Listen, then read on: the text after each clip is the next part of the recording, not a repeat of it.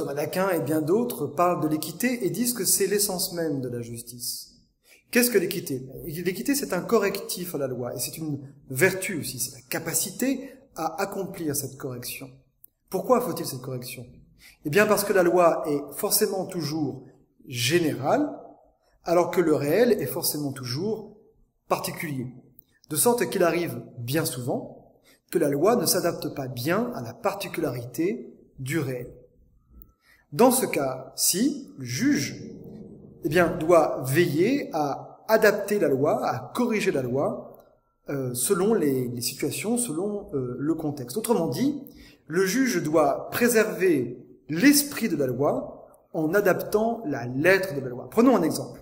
Une loi peut dire par exemple que tout dépôt doit être rendu. C'est Thomas d'Aquin qui prend cet exemple aussi dans la Somme théologique. Tout dépôt doit être toujours rendu.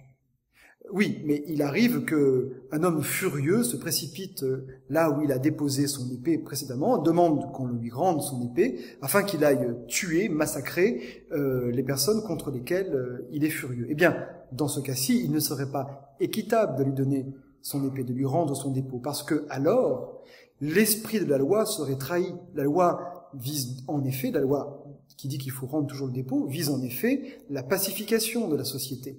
Ici, on a un homme qui s'apprête à euh, créer une situation de grande violence. Eh bien, afin de préserver l'esprit de la loi, qui est la pacification de la société, il peut être parfois nécessaire de corriger, voire même de s'opposer à la lettre de la loi.